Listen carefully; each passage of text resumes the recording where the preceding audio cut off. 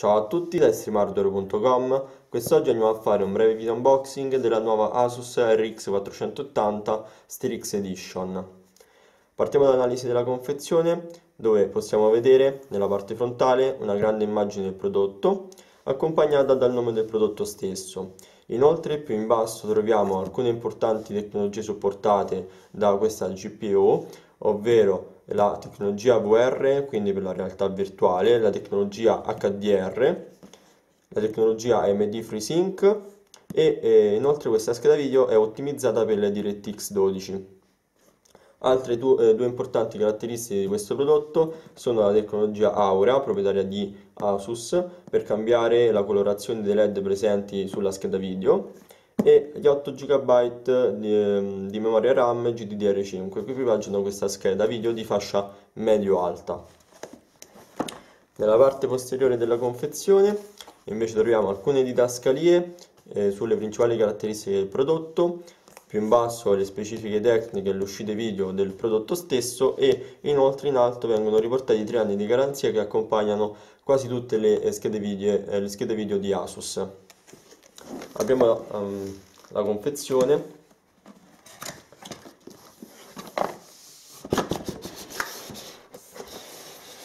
Al di sotto del cartone esterno troviamo un'ulteriore scatola dove al centro abbiamo stampato il logo Strix. Aprendo anche quest'ultima confezione troviamo a sua volta eh, un altro piccolo box. Al cui interno è riposto il bundle che accompagna il prodotto.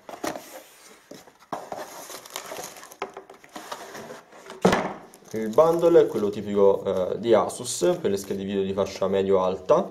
Infatti troviamo manuale di installazione rapida, un coupon per un, per un, gioco, eh, un videogioco online, 4 eh, fascette in velcro e il CD driver. Infine prendiamo la scheda video.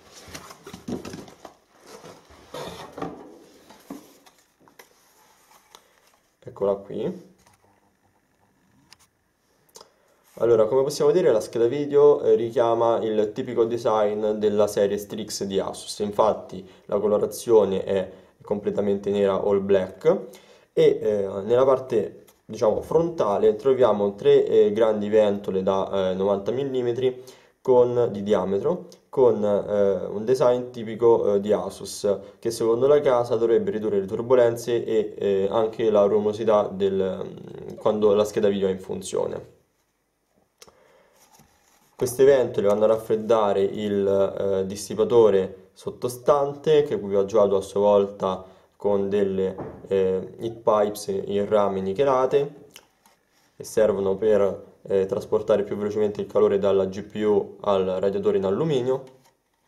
Nella parte superiore invece troviamo eh, il prolungamento della scocca in plastica nera con il logo eh, Republic of Gamers che si illuminerà eh, quando la scheda video sarà in funzione e potremo cambiare il colore attraverso il software proprietario di Asus.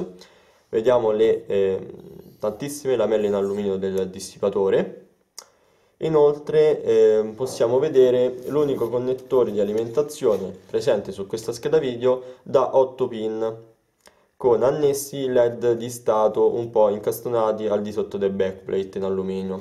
Infatti proprio nella parte posteriore troviamo un eh, generoso backplate in alluminio spazzolato di colore nero con il logo ROG in basso rilievo che si illuminerà anche questo quando la scheda video sarà in funzione.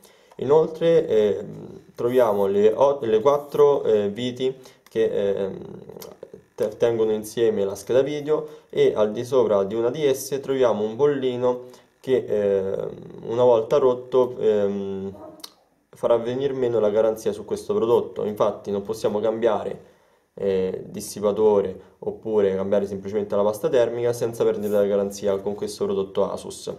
Inoltre notiamo che il PCB è eh, leggermente più alto rispetto allo standard di circa un centimetro e mezzo 2 cm quindi prestate attenzione quando eh, acquistate questa scheda video e vedete se è possibile montarla all'interno del vostro case, soprattutto se avete un case di piccole dimensioni. Inoltre notiamo l'assenza del connettore Crossfire, in quanto le nuove schede video eh, AMD sfruttano la connessione in parallelo tramite il PCI Express. Più in basso infatti troviamo il PCI Express 3.0 e eh, mentre nella parte posteriore notiamo che cosa? Due connettori 4 pin PVM che eh, ci consentiranno di connettere l'eventole di questa scheda video al nostro controller eh, principale dell'eventole installato sul nostro case, ovviamente se lo possediamo e se l'abbiamo installato sul nostro case, altrimenti le eventole funzioneranno autonomamente con il software proprietario di Asus.